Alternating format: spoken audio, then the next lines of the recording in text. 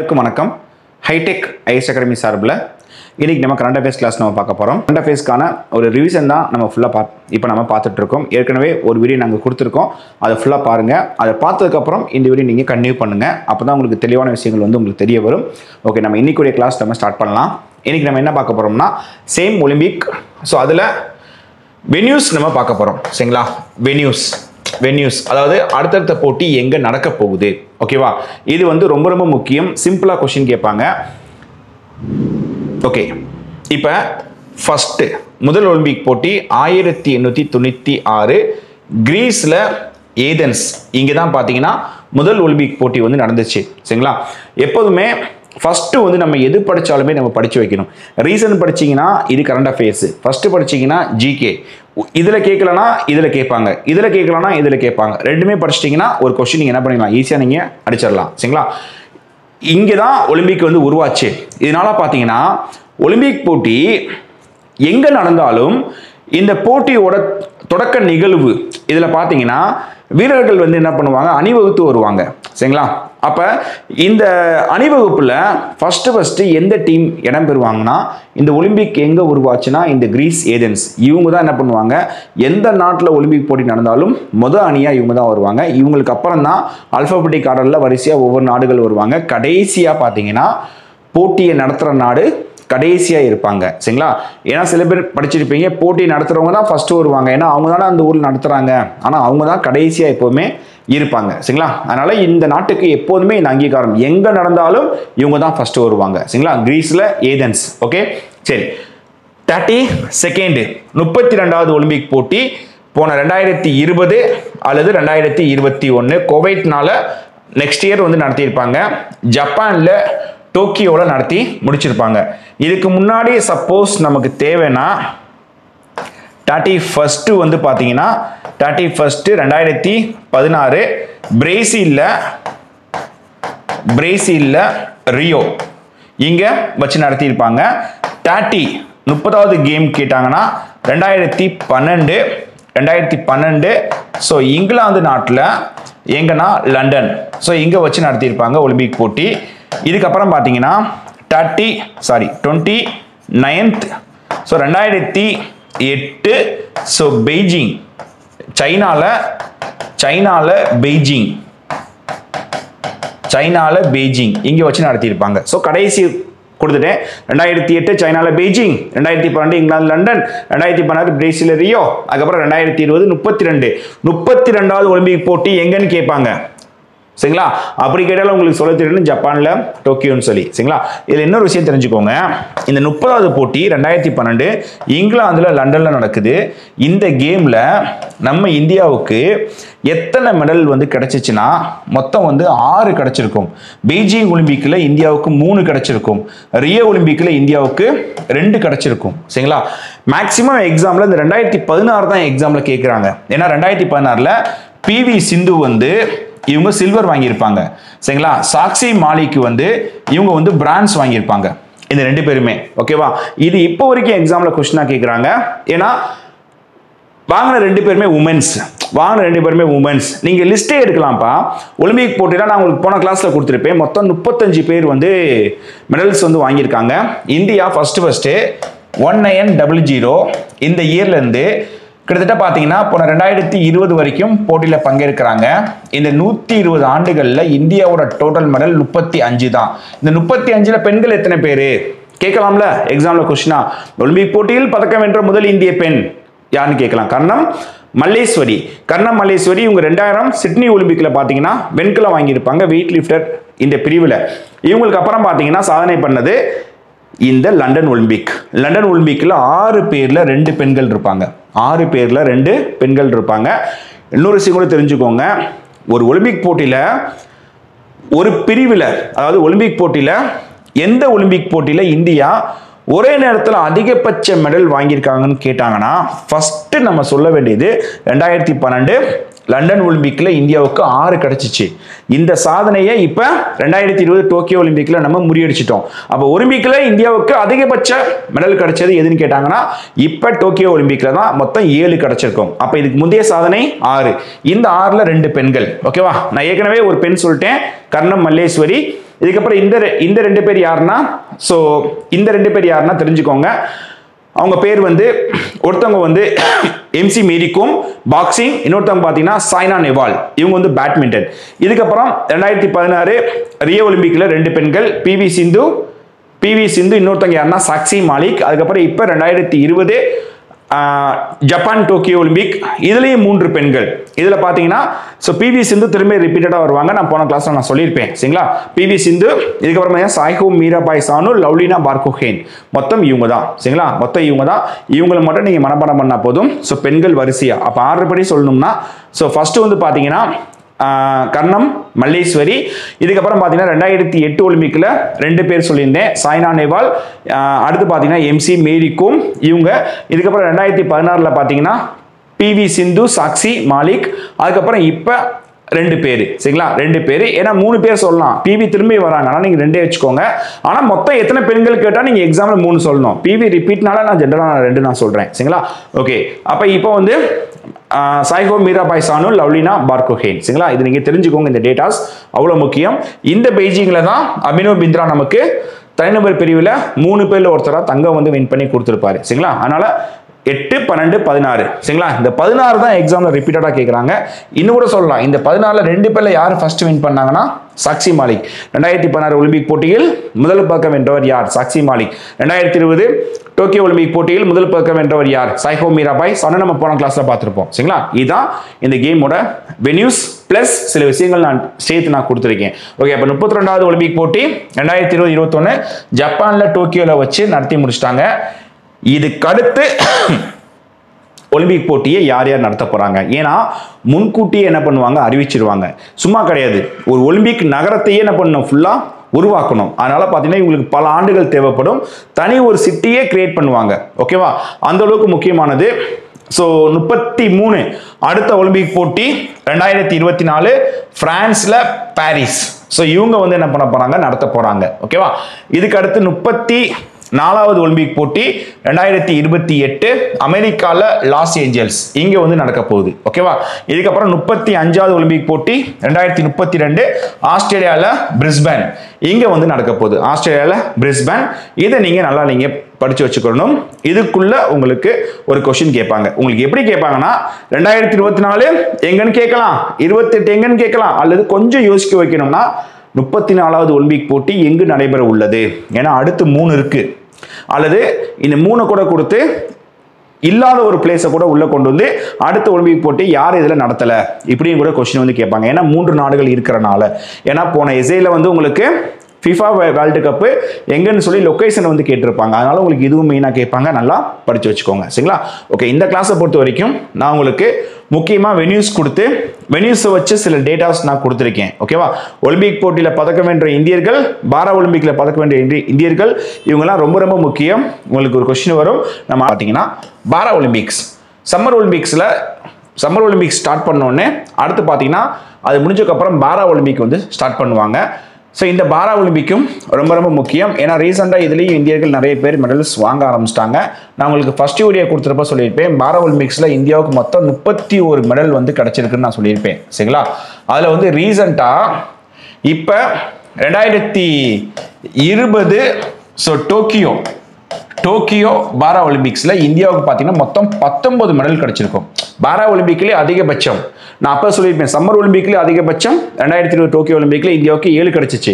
அது மாதிரி பாரா ஒலிம்பிக்லேயே அதிகபட்சம் இதுவும் டோக்கியோ ஒலிம்பிக்கில் மொத்தம் பத்தொன்பது பேர் வந்து நமக்கு வின் பண்ணி கொடுத்துருப்பாங்க. இப்போ இந்தியாவோடது மெயினாக பார்க்க போகிறோம் அதுக்கப்புறம் பாரா ஒலிம்பிக்கில் சாதனை பண்ண முக்கியமான நபர்கள் நம்ம பார்க்க போகிறோம் சரிங்களா? ஓகே அப்போ போன ஒலிம்பிக்கில் மொத்தம் நமக்கு பத்தொம்பது மெடல் வந்து கிடச்சிருக்கும்.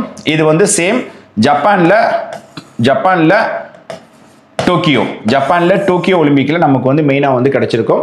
இந்த பத்தொன்பதுல கோல்டு வின் பண்ணவங்க அஞ்சு பேர் சில்வர் வாங்கினவங்க எட்டு பேர் பிரான்ஸ் வாங்கினவங்க ஆறு பேர். இதில் நீங்கள் மெயினாக படிக்க வேண்டியது கோல்டு வாங்கினவங்க. சரிங்களா? இது நீங்கள் படித்து வச்சுக்கோங்க.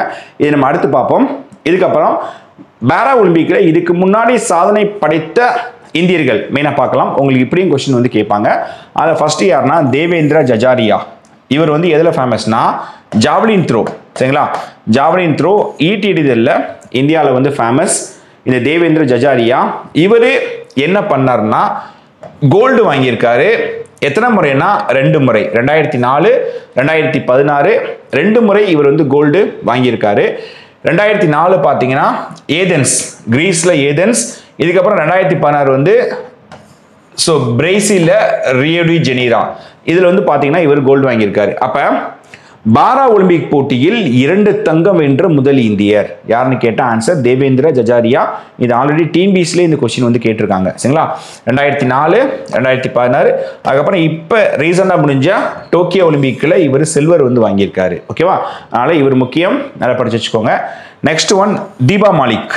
தீபா மாலிக் இவங்க ரெண்டாயிரத்தி பதினாறு ஒலிம்பிக்கில் சில்வர் வந்து வாங்கியிருப்பாங்க. ஷார்ட் புட் சரிங்களா? ஷார்ட் புட் இந்த பிரிவில் இவங்க வந்து வாங்கியிருப்பாங்க. ஓகேவா சில்வர் இதில் என்னன்னா இவங்க இந்த ஒலிம்பிக்கில் சாதிக்கலை. ஆனால் போன ஒலிம்பிக்கில் முக்கியமான விஷயம் பண்ணாங்க. சில்வர் வந்து வின் பண்ணாங்க.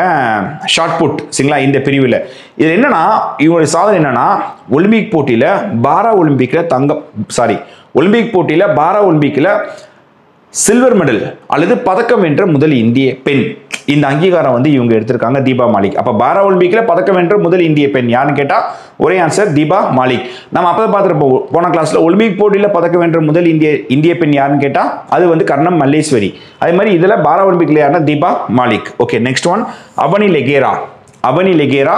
இவங்க வந்து போன ரெண்டாயிரத்தி இருபது இருபது டோக்கியோ ஒலிம்பிக்ஸில் இவங்க ரெண்டு மெடல் வாங்கியிருப்பாங்க. சரிங்களா? இது போன ஜெயிலர் எக்ஸாமில் கூட இந்த கொஷின் கேட்டிருப்பாங்க. அவனி லெகேரா இவங்க யாருன்னு சொல்லி கேட்டிருப்பாங்க. சரிங்களா? ஓகே இதில் ரெண்டு மெடலில் ஒன்று கோல்டு இன்னொன்று சில்வரு கோல்டு பார்த்தீங்கன்னா so ten metre air rifle silver பார்த்தீங்கன்னா ஃபிஃப்டீன் மீட்டர் ஏர் ரைஃபிள் அப்போ ஒரே ஒலிம்பிக் போட்டியில் இரண்டு பதக்கம் வென்ற முதல் இந்தியர் முதல் இந்திய பெண். யாருன்னு கேட்டால் ஆன்சர் அவனி லெகேரா. இவங்களை நீங்கள் மெயினாக நீங்கள் சொல்லணும். ஸோ இவங்க வந்து ஷூட்டிங்கில் வந்து ஃபேமஸ் சரிங்களா? இவங்க ஷார்ட் புட்டு இவர் ஜாவ்லின் த்ரோ சரிங்களா? ஓகே நெக்ஸ்ட் அடுத்தது மாரியப்பன் தங்கவேலு. இவர் நம்ம தமிழ்நாட்டுக்காரர். தமிழ்நாட்டில் சேலம். சரிங்களா? இந்த பாரா ஒலிம்பிக்கில் இவரும் நிறைய சாதனைகள் படைச்சிட்டு வராரு. இதுக்கு வந்து அடித்தளம் ஃபஸ்ட்டு ஃபஸ்ட்டு இவர் வாங்கினது ரெண்டாயிரத்தி பதினாறு. ஸோ இது வந்து பார்த்தீங்கன்னா ரியோ. ரியோ பாராலிம்பிக்ஸ் இதில் வந்து கோல்டு வாங்கியிருப்பார். Gold வாங்கியிருப்பாரு. So high jump high jump T forty two இந்த பிரிவில் வின் பண்ணியிருப்பாரு. இதுக்கப்புறம் இப்போ முடிஞ்ச டோக்கியோ ஒலிம்பிக்கில் silver வாங்கியிருப்பாரு. High jump T sixty three இந்த கேட்டகரியில் வாங்கியிருக்காரு. சரிங்களா? இந்த நாலு பேருமே பாரா ஒலிம்பிக்கில் ஃபேமஸ் சரிங்களா? நான் உங்களுக்கு இந்த நாலு பேரை பற்றி முக்கியமான சாதனைகள் ஃபுல்லாக நான் கொடுத்துருக்கேன். நல்லா படிங்க. இந்த நாலில் ஒரு கொஷின் கூட கேட்கலாம். அதை தாண்டி லாஸ்ட்டாக முடிஞ்ச ரெண்டாயிரத்தி இருபது டோக்கியோ ஒலிம்பிக்ஸில் கோல்டு வாங்கின அந்த அஞ்சு பேரை மத் மட்டும் நீங்கள் படித்து வச்சுக்கோங்க. ஒரு சேஃப்டிக்கு இது உங்களுக்கு கொஷின் வர வாய்ப்பு ரொம்ப அதிகம். அந்த அஞ்சு பேர் தான் ஃபர்ஸ்ட் யாருன்னா அவனி லெகேரா சுமித் அன்டில் மணிஷ் நர்வால் அதுக்கப்புறம் பார்த்தீங்கன்னா பிரமோத் பகத் அதுக்கப்புறம் கிருஷ்ணா நகர். மொத்தம் அஞ்சு பேர். அப்போ அவனி லெகேரா ஷூட்டிங். இவங்க என்ன பண்ணாங்கன்னா டென் மீட்டர் ஏர் ரைஃபிளில் வந்து இவங்க கோல்டு வாங்கியிருக்காங்க. சுமித் அண்டில் பார்த்தீங்கன்னா அத்லெட்டிக்ஸ் இவங்க வந்து ஜாவலின் த்ரோ நான் ஏற்கனவே சொல்லியிருக்கேன் ஜாவலின் த்ரோன்றது அத்லெட்டில் வந்துடும் ஜாவலின் த்ரோ எஃப் சிக்ஸ்டி ஃபோர்ன்ற பிரிவில் இவங்க வந்து கோல்டு வாங்கியிருக்காங்க. அதுக்கப்புறம் மணிஷ் நர்வால் இவங்க வந்து ஷூட்டிங் இதில் வந்து மிக்சடு ஃபிஃப்டீன் மீட்டர் பிஸ்டலில் வந்து இவங்களும் வாங்கியிருக்காங்க. அதுக்கப்புறம் பார்த்தீங்கன்னா பிரமோத் பகத் இவர் வந்து பேட்மிண்டன் ஸோ இவர் மென் சிங்கிள்ஸ் எஸ்எல் த்ரீன்ற பிரிவில் இவரும் கோல்டு வாங்கியிருக்காரு. இதுக்கடுத்து கிருஷ்ணா நகர் இவர் வந்து பேட்மிண்டன் சேம் பேட்மிண்டன் ரெண்டு இருக்காங்க. மென் சிங்கிள்ஸ் எஸ்ஹெச் ஃபோர்ன்ற பிரிவில் பார்த்தீங்கன்னா இவர் வந்து கோல்டு வாங்கியிருக்காரு. சரிங்களா? அப்போ ரீசெண்டாக முடிஞ்சால் பாரா ஒலிம்பிக்கில் பார்த்தீங்கன்னா இந்தியாவுக்கு வந்து அஞ்சு கோல்டு கிடச்சிருக்கு. டோட்டலாக வந்து பத்தொம்போது கிடச்சிருக்கு. சரிங்களா? இதை வச்சு உங்களுக்கு கொஷின்ஸ் கேட்பாங்க. இவற்றுள் யார் தங்கம் பெறவில்லை? அதாவது யார் பெற்றிருக்காங்க? மேக்ஸிமம் சில்வர் பிரான்ஸ் போகிறது ரொம்ப ரேர் தான். உங்களுக்கு கோல்டு தான் மெயினாக கொஷினாக வந்து உங்களுக்கு செட் பண்ணுவாங்க. ஒரு கொஷின் கேட்பாங்கப்பா அவ்வளோதான்ப்பா சரிங்களா? எஸ்ஏயில் ஸ்போர்ட்ஸில் ஒரு கொஷின் கேட்பாங்க. ஆனால் அந்த ஒரு கொஷின் எது நமக்கு தெரியாது. நம்ம என்ன பண்ணணும்? எல்லாமே நம்ம படித்து வைக்கணும். அதான் இப்போ நம்ம செலக்டிவாக நம்ம ஒவ்வொன்றா நம்ம பார்த்துட்டு வரோம். சரிங்களா? இப்போ நம்ம அடுத்து பார்க்க போகிற டாபிக் பார்த்தீங்கன்னா ஃபிஃபா ஃபிஃபானா என்னன்னா இது வந்து ஃபுட்பால் இது வந்து ஃபுட்பால் சரிங்களா? இது வந்து ஒரு ஏற்கனவே சொல்லியிருப்பேன். இது ஒரு ஃபெஸ்டிவல் தான். ஏன்னா உலக அளவில் ஒலிம்பிக் போட்டி கால்பந்து இதெல்லாம் பார்க்கறதுக்கு ஃபேன்ஸ் வந்து ரொம்ப ரொம்ப அதிகமாக இருக்காங்க. ஸோ இதுவும் வந்து ஒரு ஃபெஸ்டிவலாக எடுத்து செலிப்ரேட்டே பண்ணுறாங்க ஃபிஃபா ஸோ இந்த ஃபிஃபா வேர்ல்டு கப்பில் ரீசெண்டாக என்னென்ன முடிஞ்சிருக்கு? ஜஸ்ட் வின்னர் வென்யூ இது மட்டும் படிங்க போதும். நம்ம ஒவ்வொன்றா பார்த்துட்டு வரோம் so FIFA U twenty world cup யூன்றது under under அப்போ இருபது வயதிற்குட்பட்டவங்க மட்டும் பங்கேற்பாங்க. ரெண்டாயிரத்தி இருபத்தி மூணு இந்த வருஷம் நடத்தி முடிச்சிருக்காங்க. ஃபிஃபானா இதோடைய full form federation international the football association கால்பந்துக்கான உலகக்கோப்பையை இவங்க தான் நடத்துவாங்க. கிரிக்கெட் கிரிக்கெட்டுக்கான உலகக்கோப்பையை யார் நடத்துவாங்கன்னா ஐசிசி ஹாக்கிக்கான உலகக்கோப்பை யார் நடத்துவாங்கன்னா எஃப்ஐ ஹச் ஒலிம்பிக் போட்டியை யார் நடத்துவாங்கன்னா ஐஓசி இந்த மாதிரி ஒவ்வொன்றுக்கும் ஒரு பிரிவு இருக்காங்களா? அது மாதிரி தான் பார்த்தீங்கன்னா இந்த ஃபிஃபா ஃபிஃபா வந்து ஃபுட்பால் போட்டி நடத்துவாங்க. இந்த அண்டர் டுவெண்ட்டி யார் நடத்துனாங்கன்னா பிளேஸ் அர்ஜென்டினா இதில் யார் சாம்பியன் பட்டம் வின் பண்ணாங்கன்னா உருகுவே வின் பண்ணியிருக்காங்க முதல் முறையாக. இதில் ரன்னர் யாருன்னா இத்தாலி வந்திருக்காங்க. சரிங்களா? அதனால் இது ஒன்று படிச்சுக்கோங்க. அடுத்தது ஃபிஃபா வேர்ல்டு கப் ரெண்டாயிரத்தி இருபத்தி ரெண்டு. இது டுவெண்ட்டி செகண்ட் வேர்ல்டு கப்பு சரிங்களா? இருபத்தி ரெண்டாவது வேர்ல்டு கப்பு ரீசெண்டாக இது வந்து யார் நடத்தி முடிச்சாங்கன்னா ஸோ கத்தார் இவங்க வந்து இந்த வேர்ல்டு கப்பை வந்து நடத்தி முடிச்சிருப்பாங்க. ஒரு அரபு நாடு நடத்தி ஒரு பெரிய சாதனையை படைச்சிருப்பாங்க. போன வேர்ல்டு கப் வந்து பார்த்தீங்கன்னா யார் சாம்பியன் பண்ண வாங்கினாங்கன்னா அர்ஜென்டினா வின் பண்ணியிருப்பாங்க. அர்ஜென்டினா இவங்க மூன்றாவது முறையாக வின் பண்ணி ஒரு பெரிய சாதனை படைச்சிருப்பாங்க. இதுக்கப்புறம் இதில் ரன்னர் யார் வந்திருப்பாங்கன்னா ஃப்ரான்ஸ் வந்து வந்திருப்பாங்க. ஸோ அர்ஜென்டினாவோட கேப்டனா லைனோல் மெஸ்ஸி இவருக்கு வந்து டிராஃபி வந்து கிடச்சிருக்கும். அதுக்கப்புறம் ஃப்ரான்ஸில் ஃபேமஸ் யாருன்னா கிளியன் எம்பாபே சரிங்களா? இவர் பார்த்தீங்கன்னா போன வேர்ல்டு கப்பில் ஃபைனல் மேட்ச்சில் வந்து ஹாட்ரிக் கோல் எடுத்திருப்பாரு. சரிங்களா? எம்பாபே. அப்போ ஃபிஃபா உலகக்கோப்பையில் இறுதிப் போட்டியில் ஹாட்ரிக் கோல் அடித்த முதல் நபர் யாருன்னு கேட்பாங்க? So Mbappe. அவருடைய பேர் வந்து எம்பாபே. ஸோ நீங்கள் தெரிஞ்சு வச்சுக்கோங்க. அவர் வந்து பிரான்ஸ்காரர். சரிங்களா? ஓகே அப்போ போன வேர்ல்டு கப்பு வந்து வெற்றிகரமாக நடத்தி முடிச்சிட்டாங்க. ஸோ இந்த டேட்டாஸ் மட்டும் படிங்க போதும். Okay next one FIFA U seventy women's world cup ரெண்டாயிரத்தி இருபத்தி ரெண்டு. இது முன்னாடி நடக்க வேண்டிய போட்டி கோவைட்னால் என்ன பண்ணாங்க? அப்படியே எக்ஸன் பண்ணிட்டே போனாங்க. இது பார்த்தீங்கன்னா பதினேழு வயதிற்கு உட்பட்ட நபர்கள் யாருன்னா உமன்ஸ் சரிங்களா? சப்போஸ் எதுவுமே கொடுக்கல. இதுதான்ப்பா. இந்த இருக்கு பார்த்தீங்களா இதுதான் வந்து மெயின் மெயின் முக்கியமான போட்டியே. ஏன்னா இதில் தான் பார்த்தீங்கன்னா கால்பந்தில் ஃபேமஸான நாடுகள் ப்ளஸ் நபர்கள்லாம் பங்கேற்கிறது. இதெல்லாம் ஃபிஃபாலே வெவ்வேறு கேட்டகரி இது பாருங்கள் யூ செவன்ட்டி யூ டுவெண்ட்டி இந்த மாதிரி நிறைய இருக்குது வரிசையாக இருக்குது பார்க்க போகிறோம் இதுதான் Lionel Messi Cristiano Ronaldo Neymar இவங்கெல்லாம் பங்கேற்கிற போட்டி இது மட்டும்தான். இது பார்த்தீங்கன்னா பதினேழு வயதுக்கு உட்பட்டவங்க மகளிர் மட்டும் வருவாங்க. ஓகேவா சப்போஸ் உமன்ஸ் கொடுக்கலனா மின்ஸ் அவ்வளோதான் நம்ம என்ன பண்ணோம் உமன்ஸ்ன்ற பேர் இல்லாமல் FIFA under seventy world cup இருந்தால் அது வந்து ஆண்களுக்கான போட்டி நம்ம எடுத்துக்கணும். மென்ஸை உமன்ஸ்ன்ற வார்த்தை இருந்தால் அது வந்து பெண்களுக்கானது. ஓகே இது பார்த்தீங்கன்னா யார் நடத்துனாங்கன்னா? இந்தியா சாம்பியன் ஸ்பெயின் ரன்னர் வந்து கொலம்பியா. இந்த டாப்பிக்கை பொறுத்த வரைக்கும் நீங்கள் முக்கியமாக தெரிஞ்சுக்க வேண்டிய விஷயம் என்னன்னா இந்த ஃபிஃபான்ற டோர்னமெண்ட்டு நம்ம இந்திய மண்ணில் நடந்ததே கிடையாது. எப்போவுமே நடந்தது கிடையாது. ஆனால் இப்போ தான் இந்த வாய்ப்பு நமக்கு வந்து கிடச்சிருக்கு. அப்போ இந்த ஃபிஃபான்ற டோர்னமெண்ட்டில் யூ செவன்டீன்ற கேட்டகரி நம்ம இந்திய மண்ணில் நடத்தி முடிச்சிருக்காங்க. இது நமக்கு முதல் முறை இல்லை. இது வந்து செகண்ட் டைம் சரிங்களா? ஒரு ஃபிஃபா டோர்னமெண்ட்டு நம்ம இந்திய மண்ணில் நடந்திருக்குன்னா இது செகண்டு ஃபஸ்ட்டு பார்த்தீங்கன்னா FIFA FIFA U seventeen world cup அப்போ இது என்னன்னா ஆண்களுக்கான போட்டி. சரிங்களா? இது வந்து ஃபர்ஸ்ட் ஃபர்ஸ்ட்டு ரெண்டாயிரத்தி பதினேழில் நம்ம இந்தியாவில் வச்சு நடத்தியிருப்பாங்க. இதுதான் நம்ம இந்தியாவில் நடந்த முதல் ஃபிஃபா டோர்னமெண்ட்டு சரிங்களா? இதுதான் ஃபஸ்ட்டு இதுக்கப்புறம் செகண்டு தான் இது. இந்த வாட்டி ஸ்பெயின் வந்து வின் பண்ணி ஒரு பெரிய சாதனை வந்து படைச்சிருக்காங்க. ஓகே அதனால் இந்த டேட்டாஸ் ரொம்ப முக்கியம். நல்லா படிச்சு வச்சுக்கோங்க.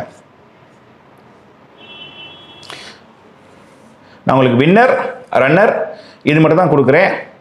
இது மட்டும் படித்தா போதும். அடுத்தது யூரோ கப் யூரோ கப் இது வந்து ரொம்ப ஃபேமஸ் ஃபீஃபா வேர்ல்டு கப்புக்கு அடுத்து ஒரு பெரிய டோர்னமெண்ட் கால்பந்தில் இருக்குன்னா அது இந்த யூரோ.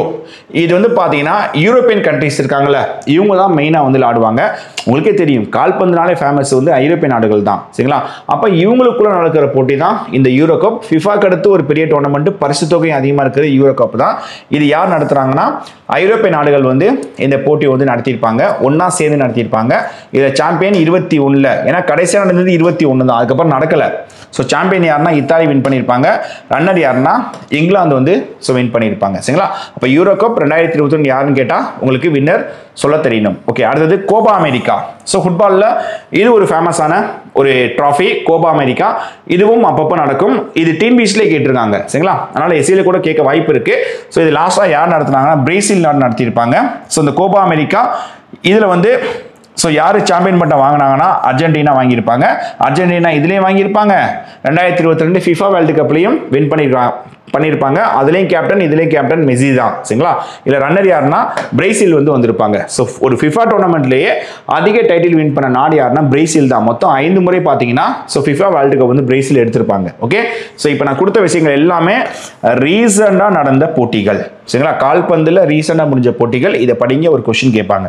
ஓகே லாஸ்ட்டாக பாலந்தூர் அவார்டு இது வந்து ஃபுட்பாலுக்கு மட்டும் கொடுப்பாங்க. அதாவது ஸோ ஸ்போர்ட்ஸில் நிறைய கேட்டகரி நிறைய விருதுகள் இருக்குது அதில் வந்து இந்த விருது ரொம்ப ஃபேமஸ்ஸு இந்த விருது வந்து உலக அளவில் பிரபலமானது. ஆனால் ஸ்போர்ட்ஸில் என்ன பிரிவுக்கு மட்டும் கொடுப்பாங்கன்னு கேட்டாங்கன்னா ஃபுட்பாலுக்கு மட்டும்தான். இதே இது லாரஸ். இதே இது லாரஸ் ஸ்போர்ட்ஸ் அவார்ட் இது இதுவும் பார்த்தீங்கன்னா ஸ்போர்ட்ஸுக்கு தான். ஆனால் எல்லா கேட்டகரி இருக்கும். இது வந்து ஜென்ரலாக என்ன சொல்லுவாங்கன்னா ஸ்போர்ட்ஸ் ஆஸ்கார்னு சொல்லுவாங்க. ஸ்போர்ட்ஸ் ஆஸ்கார் விளையாட்டு உலகின் ஆஸ்கார்னு சொல்லி எந்த விருது அழைப்பாங்கன்னா லாரஸ் விருது. இந்த விருது சச்சின் கூட வாங்கியிருக்காரு. லாரஸ் விருது வென்ற முதல் இந்தியர் யாருன்னு கேட்டால் சச்சின் மட்டும்தான் வேறு யாருமே வாங்கலை. ஸோ சச்சின் வந்து கிரிக்கெட்டுக்கு வாங்கியிருப்பாரு. இதே மாதிரி நம்ம இந்தியாவில் ஸ்போர்ட்ஸுக்கு ஃபேமஸான விருதுகள் எடுத்துக்கிட்டிங்கன்னா தயான் சந்த் தயான் சந்த் கேல் ரத்னா தயான் சந்த் கேல் ரத்னா அவார்ட் இதுதான் வந்து இந்தியாவில் விளையாட்டுத்துறைக்கான மிக உயரிய விருது. இதுதான் நம்பர் ஒன் நம்பர் ஒன் இதோடைய பழைய பேர் வந்து ராஜீவ் காந்தின்ற பேரில் இருக்கும். போன ரெண்டாயிரத்தி இருபத்தி ஒன்று ஆகஸ்டில் பேரை வந்து மாற்றியிருப்பாங்க ஓகேவா சரி இதுக்கு அடுத்து செகண்ட் ஹையஸ்ட் பார்த்தீங்கன்னா அர்ஜுனா. அர்ஜுனா அவார்டு இது வந்து செகண்ட் ஹையஸ்ட் இதுக்கப்புறம் தேர்டு ஹையஸ்ட்னு கிடையாது. இதுக்கடுத்து ஜென்ரலாக நம்ம தெரிஞ்சுக்க வேண்டியது துரோணாச்சாரியா அவார்டு இதுக்கடுத்து ஜென்ரலாக தெரிஞ்சுக்க வேண்டியது தயான் சந்த் அவார்டு சரிங்களா? தயான் சந்த் இந்த நாலு தான் இந்தியாவில் விளையாட்டுத்துறைக்கான உயிரிய விருதுகள். இதுக்கப்புறம் இந்தியாவோட முதல் முக்கியமான விருது குடிமக்களுக்கான உயிர் உயிரி விருது வந்து பார்த்தீங்கன்னா பாரத் ரத்னா பாரத் ரத்னா விருதும் ஃபஸ்ட்டு ஸ்டார்டிங்கில் ஸ்போர்ட்ஸுக்கு கிடையாது. ஆனால் இப்போ என்ன பண்ணுறாங்க விளையாட்டுத்துறைக்கும் இந்த விருது வந்து கொடுக்குறாங்க. பாரத்னா ரத்னா விருதை வென்ற முதல் விளையாட்டு வரை யாருன்னு கேட்டால் சச்சின் மட்டும்தான். சரிங்களா? ரெண்டாயிரத்தி பதிமூணில் அறிவிச்சு ரெண்டாயிரத்தி பதினாலில் வந்து கொடுத்துருப்பாங்க. கிரிக்கெட்டில் அவர் பண்ண சாதனைகளை வச்சு சச்சினுக்கு ஃபஸ்ட்டு ஃபஸ்ட்டு கொடுத்துருப்பாங்க. ஸோ இந்த நாள் இந்தியாவில் விளையாட்டுத்துறைக்கான மிக உயிரி விருதுகள். தயான் சந்த் கேல் ரத்னா அர்ஜுனா துரோணாச்சாரியா தயான் சந்த் அவார்டு. இது பாருங்களேன் ஃபர்ஸ்ட்டும் லாஸ்ட்டும் ஒரே மாதிரி இருக்கும். அதை நான் உங்களுக்கு எக்ஸ்பிளைன் பண்ணிடுறேன். போன ரெண்டாயிரத்தி இருபத்தி ரெண்டில் இது மட்டும் தெரிஞ்சுக்கோங்க. தயான்சந்த் கேலத்னா விருது ஒருத்தருக்கு மட்டும் தான் இந்தியாவில் கொடுத்துருப்பாங்க. அது யாருன்னா சரத்கமல் சரிங்களா? சரத்கமல் தமிழ்நாட்டில் டேபிள் டென்னிஸில் ஃபேமஸ் இவர் லாஸ்ட்டாக முடிஞ்ச காமன்வெல்த் போட்டி ரெண்டாயிரத்தி இருபத்தி ரெண்டு பர்மிங்ஹாம் இங்கிலாந்தில் நடந்திருக்கும். இதில் வந்து இவர் நாலு மெடல் வாங்கியிருப்பார். மூணு கோல்டு ஒரு சில்வர் வாங்கியிருப்பார். ஒரு போட்டியில் நாலு மெடல் சாதனை. இந்த மாதிரி யாருமே இந்தியாவில் வாங்கினது கிடையாது. ஃபஸ்ட்டு ஃபஸ்ட்டு அந்த அங்கீகாரத்தை எடுத்து யாருன்னா சரத் கமல். மூணு கோல்டு ஒரு சில்வர் வாங்கியிருப்பாரு. இதை வச்சு போன இருபத்தி ரெண்டுல இவருக்கு இந்த விருது வந்து கொடுத்துருப்பாங்க. சரிங்களா? இதுக்கப்புறம் அஞ்சனா விருது செகண்டு இது என்னன்னா துரோணாச்சாரியா. இந்த விருது யாருக்கு மட்டும் கொடுப்பாங்கன்னா கோச்சர்ஸ் இந்தியாவில் பயிற்சியாளர்களுக்கான மிக உயரிய விருது கேட்டால் ஒரே ஆன்சர் துரோணாச்சாரியா. இதுக்கடுத்து தயான் சந்த் பார்த்தீங்கன்னா இதுக்கு இன்னொரு பேர் வந்து லைஃப் டைம் அச்சீவ்மெண்ட் அவார்டு சரிங்களா? அதாவது விளையாட்டுத்துறையில் வாழ்நாள் அர்ப்பணிப்பாங்க தெரியுமா? அவங்களுக்கு கொடுக்குற பிரிவு தான் இந்த தயான் சந்த் அவார்டுன்னு சொல்லுவாங்க. இதே நீங்கள் சினிமா எடுத்துக்கிட்டிங்கன்னா தாதா சாஹேப் பால்கே இருக்கா?